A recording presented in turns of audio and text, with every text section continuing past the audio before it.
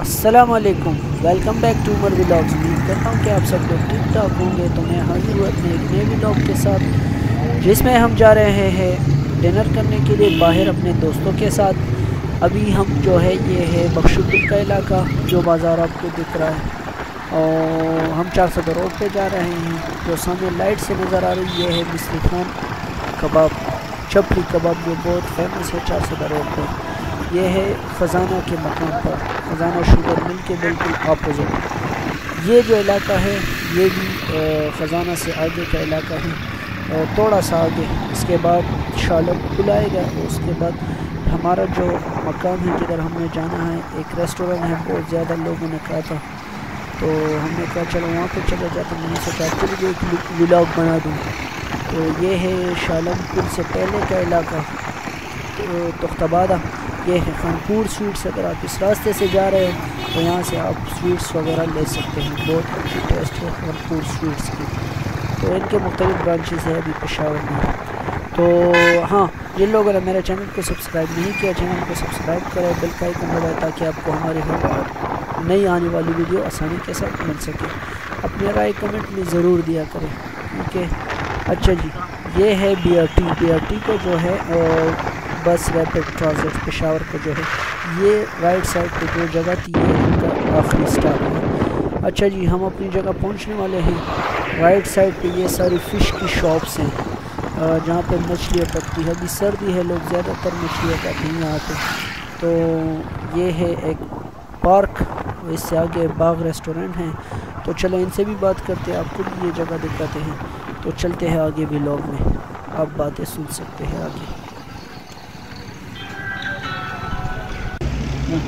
असलकुम welcome back to Umar vlogs उम्मीद करता हूँ कि आप सब लोग ठीक ठाक होंगे। तो आज हम हाथ आए हैं चाकला रोड पे बाग होटल तो आइए वीडियो की तरफ़ चलते हैं, आपको भी दिखाते हैं। तो चलते हैं उधर। जिधर मछलियाँ ये पकती हैं। हमने सोचा हाँ तो ये मेरा भाई है, कामरान। तो ये है बाग होटल जो चार सदा रोड पे हैं। तो आइए इनसे बातें भी करते हैं और इनसे भी सब चीज़ों के बारे में पूछते हैं। अस्सलाम कैसे जी तबीयत ठीक है? आ, हम तो आज आए हैं डिनर करने के लिए आपके होटल पे। किसी ने हमें बहुत तारीफ़ की है कि इनकी फ़िश बहुत अच्छी होती है ग्रिल वाली वो। तो इसलिए हम बहुत दूर से आए हैं आपके लिए फ़िश खाने के लिए।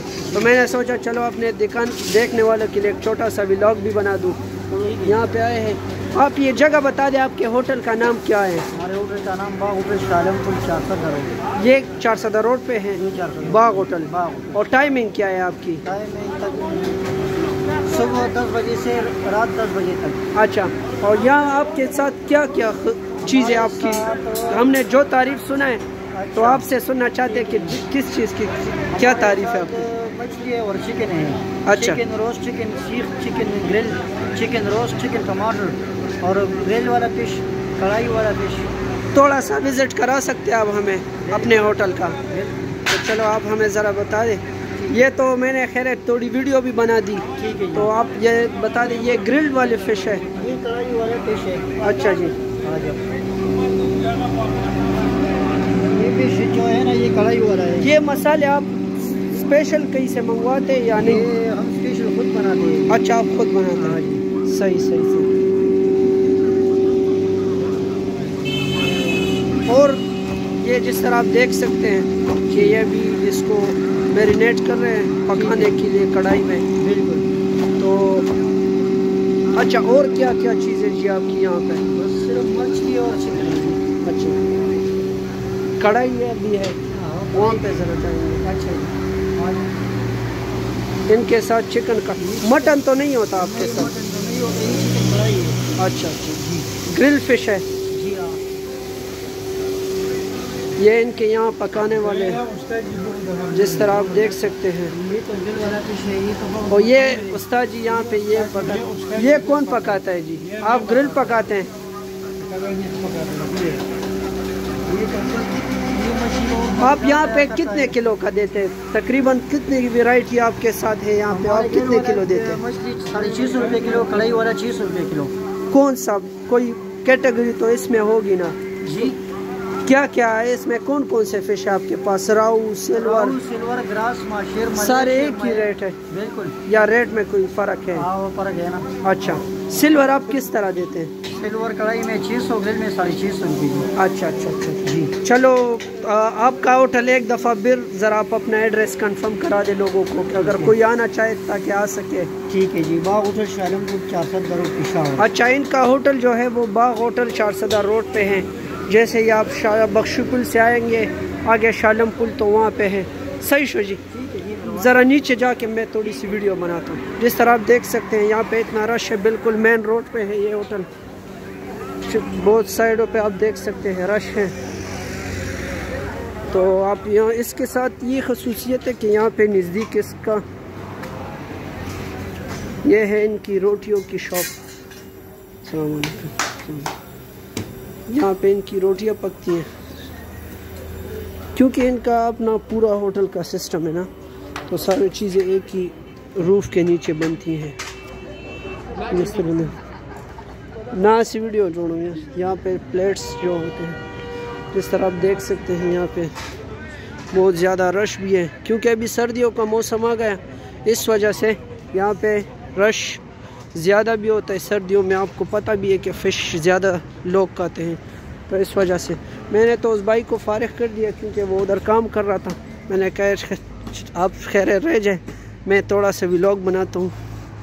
यहाँ पे जो इनकी फ़िश है, जो ऊपर आपको फ़िश दिखाए हैं, वो यहाँ पे सारा वेट करके और सफ़ाई करके यहाँ से फिर वहाँ पे शिफ्ट होता है। ये सिल्वर और ये कौन सा है जी? अच्छा राहू। रेट्स तो हमने उनसे पूछे ऊपर आपको भी दिखाया है। इनके साथ चिकन्स भी होते हैं ज़िंदा चिकन्स जिस तरह आप देख सकते हैं। यहाँ पे इसकी सफ़ाई होती है। आप भी यहाँ पे ज़रूर विज़िट करें। ये चार सदा रोड पे है आपको। मैंने एड्रेस दो तीन दफ़ा बता दिया है।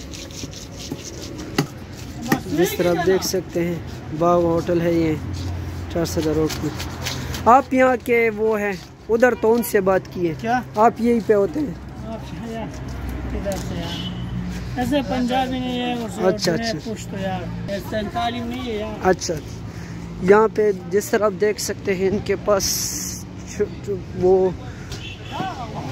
तो सारी जगह भी ये रश। तो जिस तरह आप देख सकते हैं सामने जो जगह है ये मस्जिद है। तो यहाँ पे नमाज़ की भी जगह है। जो पुल आपको दिखाई दे रहा है ये मेन बिल्कुल चारसदा चारसदा रोड है शालम पुल के साथ। इससे आगे थोड़ा जाएँगे तो यहाँ पे शालम का जो दरिया है वो भी नीचे बहता है। तो इनके साथ ज़िंदा मछलियाँ भी मिलती हैं। अगर आप यहाँ पे आए तो ज़िंदा मछली खाना चाहते हैं तो इस तालाब में इनके साथ ज़िंदा मछलियाँ भी हैं, जो आपको दिखाई दे रही है। जिस तरह ये सारे आपको दिख सके, शायद आपको दिख रहा होगा। बहुत सारे मछलियाँ हैं, इसमें मुख्तलिफ़ किस्म के हैं। सिल्वर भी है राहू, जितने भी उनसे पूछे वो सारे ज़िंदा हालात में भी आपको मिल सकते हैं, जो लोग ज़िंदा खाना चाहते हैं। ये आप देख सकते हैं, यहाँ पे चमन वगैरह में भी लोग बैठे होते हैं, कमरे भी हैं। अगर कोई लोग फैमिली के साथ आ सकते हैं तो फैमिली के साथ भी आ सकते हैं। यहाँ पर्दे का पूरा इंतज़ाम है, इस तरह की कोई ख़तरे की बात नहीं है। अक्सर लोग बाहर से जब आ जाते हैं तो वो ये कहते हैं कि यहाँ पे फीमेल्स का कोई नहीं आपके फैमिली को पूरा प्रोटोकॉल मिला जाता है, यहाँ पे कोई और इशू नहीं है आपके। ये आप देख सकते हैं। शायद